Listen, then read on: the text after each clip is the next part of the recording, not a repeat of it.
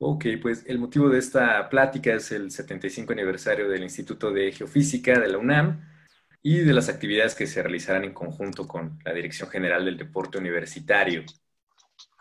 Estamos con el doctor Hugo Delgado Granados, director del Instituto de Geofísica de la UNAM.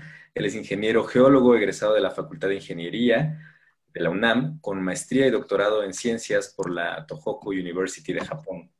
Sus principales áreas de estudio son la estratigrafía volcánica, la relación eh, volcanismo-tectónica, la geoquímica de gases volcánicos y los glaciares en volcanes activos. Muchas gracias por permitirnos un poco de su tiempo, doctor. Muchas gracias por estar aquí para conversar con ustedes. Muchas gracias. Y también nos acompaña el psicólogo Valentín Albarrán Ulloa, quien tiene a su cargo la Dirección de Cultura Física de la Dirección General del Deporte Universitario. Muchas gracias, Valentín. No, al contrario, gracias a ti, doctor. Buenas tardes. A sus órdenes. Muchas gracias. Pues para empezar, doctor Delgado, eh, ¿nos puede contar un poco de cuándo se formó el Instituto de Geofísica y un poco de, su historia? Sí, eh, el Instituto de Geofísica en realidad eh, viene de, eh, tiene su origen en tres partes que son de la Universidad Nacional. Eh, por un lado, el Instituto de Geología, que también tiene su propia historia, el Instituto Hermano del Instituto de Geología, porque fue creado a principios del, del siglo XX eh, por el presidente de entonces, el general Porfirio Díaz, y eh, eventualmente eh, también inauguró el, general Díaz el Servicio Sismológico Nacional. posteriormente, posterior a la, a la revolución, en el año 1929, el Instituto de Geología pasa a ser parte de la universidad. Antes era el Instituto Geológico de México y después, dentro de sus andanzas ahí en, este, en, el gobierno federal, eh, estuvo eh, dentro de eh, secretarías de fomento, la Secretaría de Industria, Comercio y Trabajo, y eh, de hecho, el Instituto Geológico inicia sus actividades en 1888. Y cuando viene la revolución, el Instituto de Geología pasa a formar parte de la universidad. 1929 es un año muy importante para la UNAM, es el año de la autonomía, es el año en el que se constituyen muchas partes de nuestra universidad y el Instituto de Geología tiene dentro de su organigrama el, contar con eh, un departamento de geofísica. En 1945, el eh, ingeniero Monjes López, eh, junto con el doctor Nabor Carrillo, proponen la formación de un instituto de geofísica. Y se decide el día 21 de febrero de 1945 en Consejo Universitario que eh, se forme un instituto de geofísica fundamentalmente con el, el, personal del Departamento de Geofísica del Instituto de Geología, pero agregando también el Servicio Sismológico Nacional, el Servicio Magnético, que eh, sus orígenes están en 1897. Hay que recordar que el Servicio Sismológico Nacional también fue inaugurado en 1910 entonces, esas dos partes, eh, componentes importantes, vinieron a formar parte de, orgánicamente del Instituto de Geofísica. Sin embargo, eh, pues por una serie de cuestiones presupuestales y otro tipo de circunstancias, no es sino hasta el 4 de febrero de 1949 que el Instituto de Geofísica comienza sus operaciones. Entonces, el año pasado nosotros cumplimos 70 años de haber iniciado operaciones, pero este año, el 21 de febrero, cumplimos 75 años en que se formó oficialmente y quedó inscrito dentro del estatuto universitario eh, al Instituto de Geofísica como parte de la estructura universitaria. Entonces es una historia un poquito larga, pero pues muy interesante en su momento. ya el Instituto de Geofísica contaba con una serie de áreas de trabajo en las que eh, se venía trabajando, como es en la meteorología, la hidrología, la oceanografía, sismología, en la vulcanología, el magnetismo y electricidad terrestres, la geodesia, la tectonofísica, la geofísica aplicada. Y hoy en día tenemos prácticamente contempladas las mismas áreas, pero divididas en diferentes unidades académicas que ven todo, todo este tipo de cosas. Hoy en día tenemos el departamento de sismología, el departamento de recursos naturales, el departamento de vulcanología, el departamento de geomagnetismo y exploración geofísica, el departamento de ciencias espaciales, la unidad, la sección de radiación solar y tenemos una unidad eh, eh, del Instituto de Geofísica en Michoacán, la unidad Michoacán del Instituto de Geofísica en, la ciudad de Morelia, dentro del campus universitario, donde también se llevan a cabo eh, trabajos de investigación. Entonces, básicamente esa es, digamos, a grandes rasgos la historia de creación de nuestro instituto y eh, la composición que actualmente tenemos. Muchas gracias, doctor Delgado. Y Valentín, en, este contexto, ¿qué es la geoconvivencia atlética en línea? Eh, muy bien. Efectivamente, em, en, el, en, el, marco de las celebraciones por el 75 aniversario del Instituto de Geofísica, em, habíamos pensado realizar un, evento conjunto, un evento conmemorativo, un evento deportivo que conmemorara este aniversario. inicialmente habíamos eh, programado la, carrera nocturna, que es una carrera que, que, teníamos programada para el 28 de marzo. Sin embargo, bueno, por, la, por, la, por razones obvias, por la contingencia, pues no se, no se ha podido realizar. Seguramente se realizará más adelante, cuando el semáforo lo permita. Sin embargo, no quisimos eh, que pasara inadvertido desde el punto de vista del deporte universitario el colaborar con esta celebración, Y por supuesto con, con, la importancia que tiene el instituto para la vida no solo de, de, la universidad, sino en general del país y del mundo, ¿no? Por, por todas las áreas eh, científicas que abarca. Eh, entonces, surgió la, la, iniciativa, en parte por el, por el propio instituto, de realizar una convivencia atlética virtual.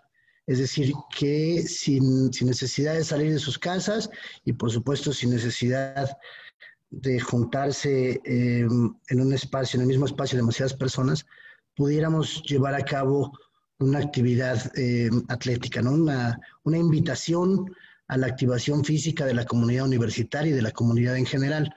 Em, este evento lo, tenemos programado para el próximo sábado 27 de junio y eh, el reto es realizar 75 minutos de actividad física eh, durante ese día, ya sea en una sola sesión o en, en periodos acumulados entre las 7 de la mañana y las 21 horas. Em, ¿Por qué 75 minutos? Pues bueno, obviamente para corresponder y empatarnos con el 75 aniversario del instituto, pero también por una, cuestión que recomienda la Organización Mundial de la Salud. Esto es que para que el ejercicio tenga un impacto eh, real en la salud, eh, se recomiendan realizar 75 minutos semanales a una intensidad vigorosa o 150 minutos a una intensidad moderada. Entonces, eh, lo que quisimos proponer es que si, si en un solo día, eh, que será este 27 de junio, podemos realizar 75 minutos de ejercicio físico, pues con mayor razón lo podremos realizar en el transcurso de la semana y lo más importante es podemos eh, generarnos el hábito del ejercicio para que éste tenga impacto en la salud. ¿no? hemos visto, por ejemplo, que los factores de riesgo eh, más asociados a la letalidad del COVID, eh, pues son aquellos que se pudieron haber prevenido con, eh, actividad física cotidiana. Esto es, bueno, obviamente la diabetes, la hipertensión y la obesidad, que la obesidad no es propiamente una enfermedad, pero es una condición física que promueve el desarrollo de muchas enfermedades. Entonces, estos, estos tres factores pudieron haberse prevenido de haber incorporado hace algunos años la actividad física. ¿no? Eh, esa, es, esa, es, la idea del, del evento y, y, bueno, además de las, eh, la idea es que lo puedan realizar con cualquier medio al alcance dentro de sus propios eh, hogares, ¿no? Esto es caminadora eléctrica, bicicleta estática, con un gimnasio de pesas o en la misma, el espacio que tengan disponible para hacer sesiones de acondicionamiento físico. Y desde la plataforma de Facebook de Deporte UNAM, nosotros vamos a estar eh, em, transmitiendo sesiones de 75 minutos, de hora y cuarto, eh, de distinta intensidad para que también quien quiera eh, realizar este reto acompañándonos, pues será bienvenido, ¿no? Tendremos a lo largo del día sesiones. La idea es que las primeras sesiones sean para baja intensidad y conforme, conforme vaya pasando el día vamos a ir aumentando la carga, digamos, de las actividades propuestas. Ese es a grandes rasgos el, evento. Muchas gracias, Valentín. Eh, doctor Delgado, ya nos platicó un poquito las áreas que eh, investiga el Instituto de Geofísica. Em, ¿Qué aportaciones importantes podría destacar que ha realizado el instituto a la vida pública del país, como ya nos, comentó un poco? Bueno, eh, el, el, aporte del Instituto de Geofísica es fundamental. Tenemos eh, bajo nuestra responsabilidad el mantener el Servicio Sismológico Nacional, que en su momento es, es fundamental su trabajo en la ocurrencia de sismos, porque el Sistema Nacional de Protección Civil tiene eh, que saber dónde ocurren los sismos, sobre todo cuando estos son de gran magnitud, para poder atender las necesidades que tiene la población después de que ocurre un fenómeno de esta naturaleza. El instituto, los eh, vulcanólogos del instituto dan seguimiento conjuntamente con personal del Centro Nacional de Prevención de Desastres a la actividad eruptiva del volcán Popocatépetl. También eh, dentro del instituto se le da seguimiento a las mareas que tienen relación en su momento para anticipar la llegada de tsunamis generados por sismos o por otro tipo de fenómenos o incluso por las, las tormentas, los huracanes, etcétera, se tiene un control claro de qué es lo que está sucediendo en el territorio nacional y así como ello hay muchas áreas que de investigación y de servicio a la sociedad que son la responsabilidad eh, del Instituto de Geofísica pero también de la Universidad Nacional, son elementos estratégicos de gran prioridad y de gran servicio de la Universidad Nacional hacia la, hacia la población. Y por ello es muy importante en esta situación que estamos viviendo de esta pandemia, eh, en el que tenemos que balancear eh, las cosas entre seguir llevando a cabo los trabajos que son nuestra responsabilidad estratégica, pero por el otro lado guardarnos en casa.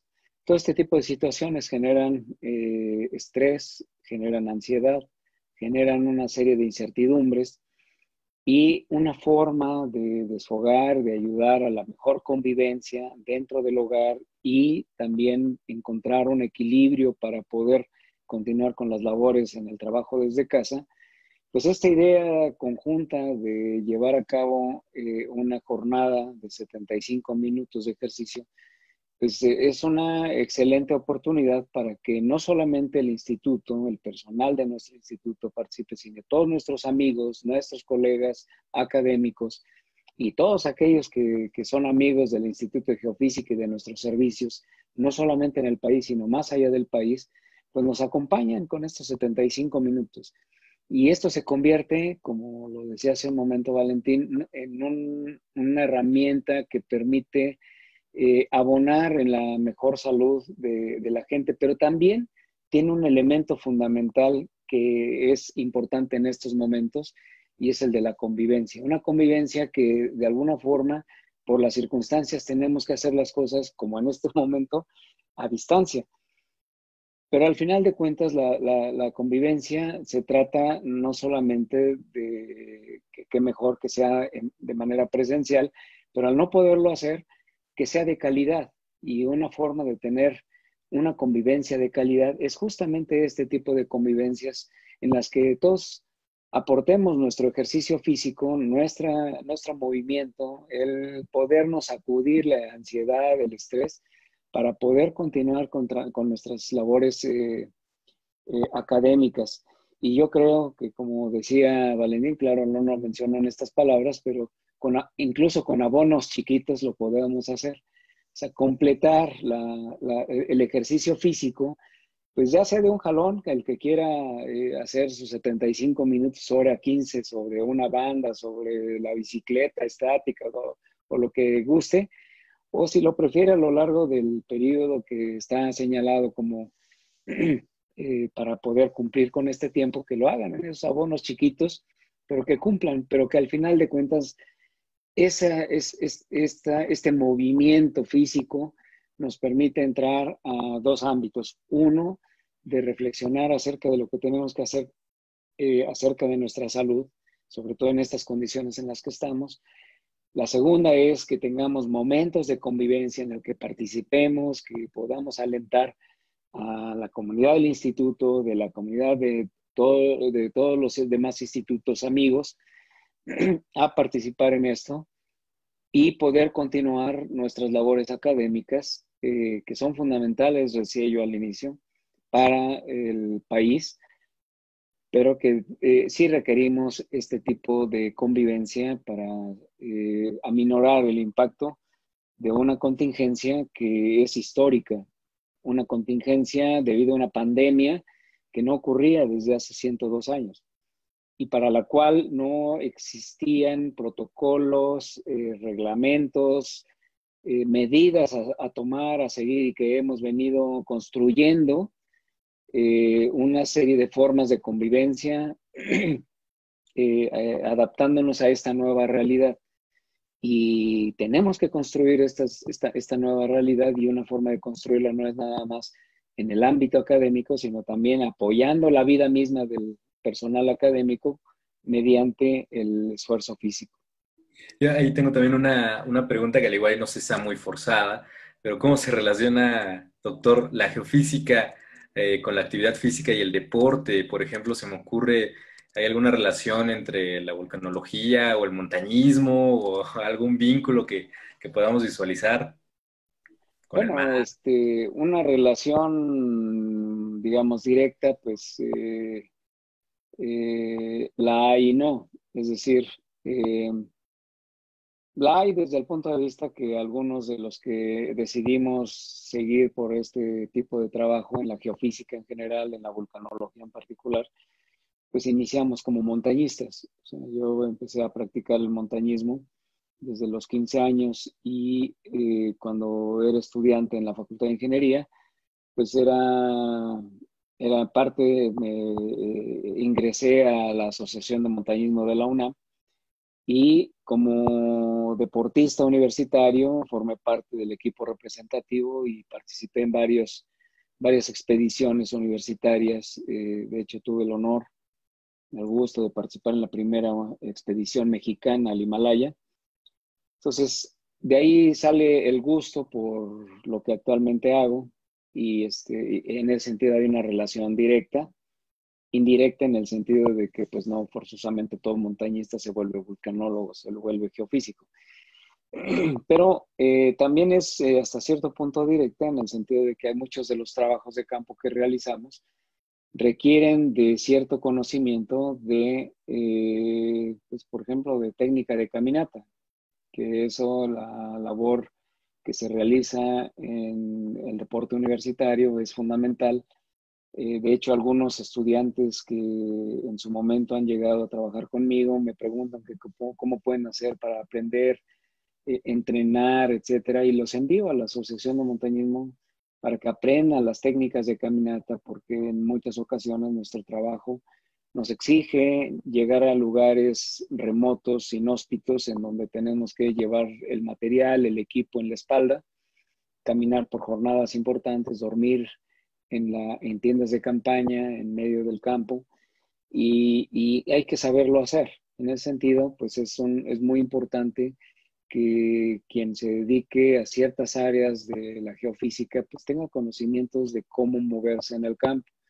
en muchas ocasiones eh, vamos a lugares desérticos, por ejemplo, y es importante, a veces este, es bueno ser precavidos, pero este, es mejor estar siempre preparados para cualquier eventualidad, por ejemplo, la mordida de una víbora de cascabel, un piquete de alacrán, cosas por el estilo. Son cosas que se aprenden eh, incluso en, los cursos de la Asociación de Montañismo de la UNAM. Entonces, este, si bien no es una relación tan directa, es muy importante conocer este tipo de cosas que enriquecen y fortalecen la mejor manera de llevar a cabo el trabajo de campo en el área de la geofísica. Claro. Y, Valentín, eh, hablando también de, la actividad física, ¿qué beneficios hay? Ya nos, han, nos comentaste un poquillo, pero eh, en esta actividad que vamos a hacer, pues, eh, ¿qué, beneficio tiene para nuestra salud, sobre todo? pues ya lo comentamos en, términos del, impacto que podría tener en reducir la población de riesgo, de, riesgo mortal por, por, COVID, por ejemplo, ¿no? El, el, haber prevenido o el poder prever con ejercicio y con activación, con activación física sistemática, regular, cotidiana, pues el desarrollo de padecimientos como la diabetes, la hipertensión, que en estas condiciones pues son, son de gravedad, pero no solo en estas condiciones, en general eh, son eh, factores que aumentan o que eh, forman un buen porcentaje de la mortalidad en el país y en el mundo, em, y, que además, em, si entendemos como, como ambiente, no solo, digamos, esta parte ecológica, sino todo el medio en el que nos desenvolvemos, pues también el,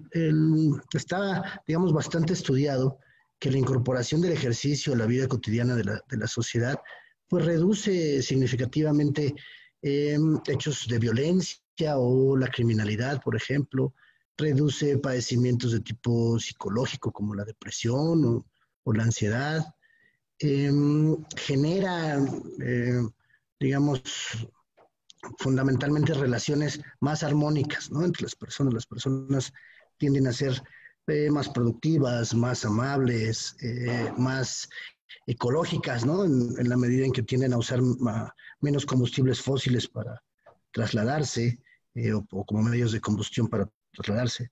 Em, digamos que son una serie de beneficios aledaños, además de que económicamente pues también hay un impacto real en las familias y en los, y en los países. Eh, se dice que por cada dólar que se pueda invertir en programas de activación física, se ahorran tres dólares en servicios de salud, porque finalmente todos aquellos que desarrollen padecimientos eh, llamados crónico-degenerativos o, enfermedades no transmisibles, parte de ellos van a tener que ser atendidos y con recursos eh, provenientes de, los impuestos, ¿no? de, las personas. Eh, entonces, es ahora sí que es mejor que prevenir que lamentar e incorporar cuanto antes la activación física. Se, digamos, se dice actividad física en general, pero aquí nos estamos refiriendo al, concepto propiamente de activación física, que implica este, pues este hábito ¿no? cotidiano de incorporar a la rutina diaria este, la pues el ejercicio, ¿no? En, ese sentido me parece que el, beneficio eh, va de la mano de muchas aristas y, en todas ellas pues eh, tiene mucho que aportar, ¿no? El, ejercicio. Pues. Es una inversión, ¿no? Al fin y al cabo, personal y hasta a nivel estatal, ¿no? menciono. Eh, doctor Delgado, ¿cómo ha sido el funcionamiento del instituto en esta contingencia? ¿Y qué otras actividades se han realizado para conmemorar su 75 aniversario? Sí, bueno, eh, la, la fecha de, la conmemoración fue el 21 de febrero eh, y eh, bueno, todavía no estábamos este, en este aislamiento o distanciamiento social, eh, así que hubo una ceremonia para conmemorar esta, esta fecha y teníamos planes para hacer varias actividades a lo largo del año. Entonces se han venido llevando a cabo seminarios, se han venido llevando a cabo eh, una serie de actividades ahora desde, desde las plataformas digitales y hemos venido tratando de eh, recordar el porqué de nuestra existencia, de nuestra presencia como instituto. Pero las actividades eh, son diversas, son muchas las que llevamos a cabo, incluso desde, desde la casa. Pero hay algunas que no se pueden detener. El Servicio Sismológico Nacional, por ejemplo, los servicios geofísicos en general no se pueden detener. Continúan operando. Tenemos estaciones eh, que están observando, por ejemplo, al volcán Popocatépetl en la montaña. Y hay que darles mantenimiento, hay que visitarlas de cuando en cuando para que lamentablemente por una serie de razones, este, decimos la palabra se caen, es decir, por alguna razón dejan de funcionar. Hay que, hay que visitarlas y ver qué es lo que sucede con estas estaciones.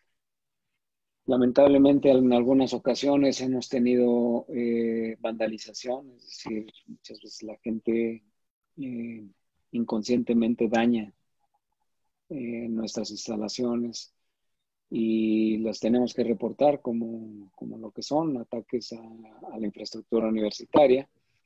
Pero más que el ataque, más que el, delito en sí, el daño es a la sociedad, porque una estación eh, eh, de observación de algún fenómeno natural, pues tiene la doble función de proveer datos para la investigación, pero también provee datos para prevenir eh, una serie de sucesos asociados con los fenómenos naturales.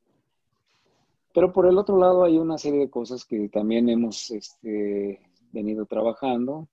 Eh, recientemente eh, por ahí salió una nota en la Gaceta de la UNAM acerca de cómo ha cambiado el ruido sísmico debido a la pandemia.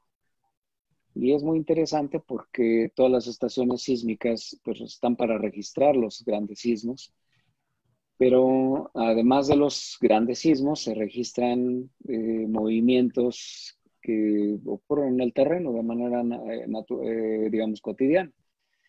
Como que movimientos, por ejemplo, todos sabemos que cuando estamos en un edificio y pasa un camión pesado, nos hace movernos. Entonces, ese es eso, el paso de la gente en el campo, en algunas estaciones que se encuentran en el campo, el paso por una brecha de una camioneta, el paso de una vaca, incluso lo registran las, las estaciones. Entonces, eh, todo eso es parte de lo que se conoce como ruido sísmico. Y lo que fue interesante en todos estos días de aislamiento es registrar eh, el cambio, las modificaciones del ruido sísmico cuando la gente se encierra disminuye en ciertas áreas cercanas a las, las estaciones sísmicas, disminuyó el, ruido sísmico. Entonces eso es algo muy interesante que tiene que ver un poquito con lo que se preguntaba hace rato de cuáles podrían ser los efectos la pandemia. Bueno, los efectos son que hay menos circulación de gente, hay menos ruido sísmico, los, registros son más limpios, pero eh, a pesar de que hay eh, técnicas para limpiar, eh, filtrar estas señales. Eh, al final de cuentas, lo que podemos ver incluso es monitorear eh, qué es lo que está sucediendo con la movilidad social. Y fue muy interesante, por ejemplo, en las fechas de Semana Santa, en el que parte del ruido sísmico se trasladó hacia las, hacia las playas sí hubo gente que se movió hacia, hacia, sitios eh, eh, cercanos a las zonas turísticas y se registró en la, en la presencia del ruido sísmico. Entonces podría, podíamos detectar cómo la gente que no cree en la existencia del coronavirus sale o, sabe y cree en la existencia, pero piensa que no le va a suceder a ella. Entonces se va y, se nota en el ruido sísmico cómo se traslada el ruido sísmico de las zonas pobladas, de las grandes ciudades, hacia otras zonas. Entonces eso es algo muy interesante que sí podemos este, seguirlo. Por lo demás, la operación de los, eh, del trabajo que llevamos a cabo, pues no podemos detenerlo. Y se establecen una serie de guardias, turnos que ya de por sí siempre las hemos establecido de una manera bien planeada con el fin de que este, esta actividad, esta tarea de dar seguimiento a la actividad natural de nuestro planeta no se interrumpa porque tiene consecuencias, tiene información fundamental para eh, tomar decisiones en un momento dado. Muy importante toda esa información que se genera, doctor. Y, bueno, pues ya para, ir cerrando, Valentín, ¿nos podrías repetir eh, qué día y en qué hora se va a hacer este evento?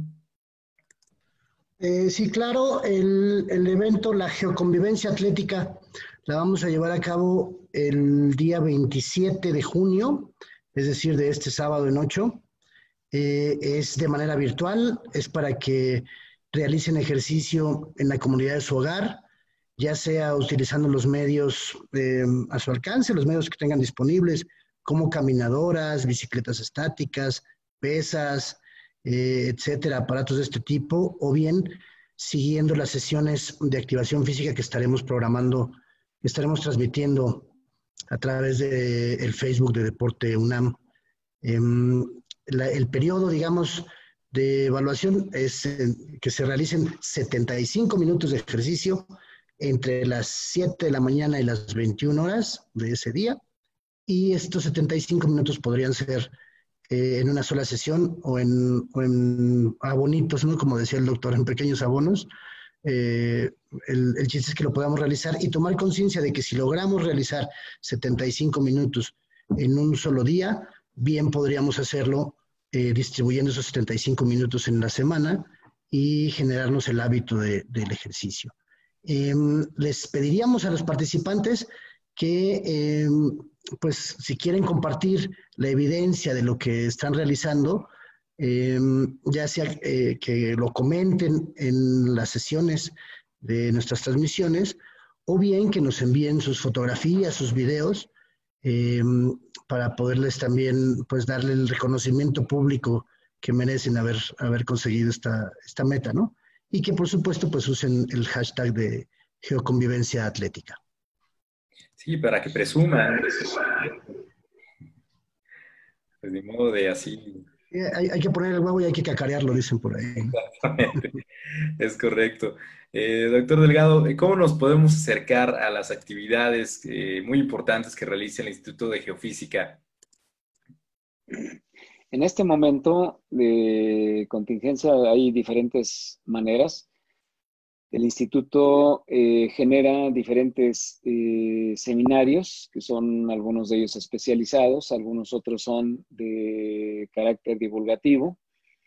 Eh, tenemos elementos de divulgación como infografías, pequeños videos que pueden eh, serles útiles a la gente para informarse de los diferentes fenómenos.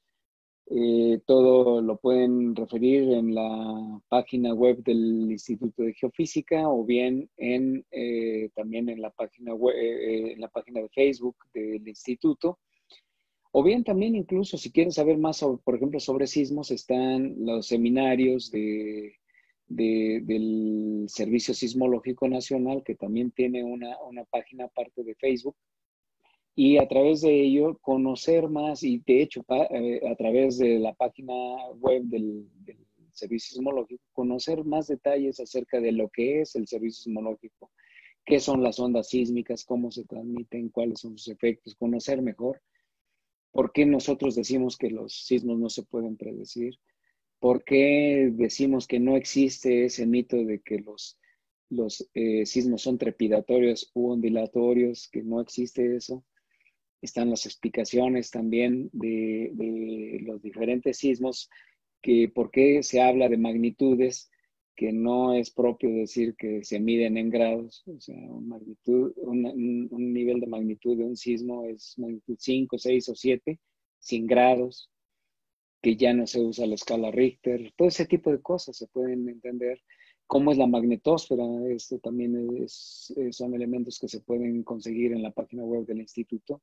Y pues hay mucho que, que, estamos produciendo de carácter divulgativo y no solamente de carácter divulgativo de las ciencias geofísicas, sino también de temas que nos atañen como universitarios. Tenemos una charla eh, por parte de la maestra Leticia Cano, de la Escuela Nacional de Trabajo Social, para hablar precisamente del ámbito eh, familiar, la contingencia y las relaciones intrafamiliares. Se habla hoy en día de un problema que cada vez se toma más en serio por parte de la academia, pero que es muy importante para nuestra sociedad, que es la violencia intrafamiliar, y cómo eso nos afecta, cómo incide en estos tiempos de contingencia, es el tema que abordará mañana la maestra Cano dentro de los seminarios, ha sido invitada a los seminarios del Instituto de Geofísica. Entonces hay muchos temas que no forzosamente son eh, temas de ciencia de la Tierra, sino también nos interesa conocer más acerca de eh, los temas de actualidad y para ello el Instituto de Geofísica también promueve las ciencias sociales y nuestra relación con las ciencias sociales. Sin duda muy importante y no se puede dejar de lado esos temas.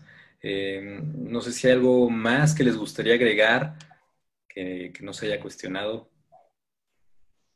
Pues no, nada más mm, reiterar la invitación. Eh, esperamos verlos muy activos eh, el próximo 27 de junio. Ahí los esperamos y, pues todo sea por el, por el bien tanto de los seres humanos como de la tierra. Así es, y yo por mi lado espero que también nos veamos el día eh, sábado eh, ese sábado 27 de, junio y que eh, podamos al final de la jornada y de los 75 minutos podamos echar nuestras boyas. Goya.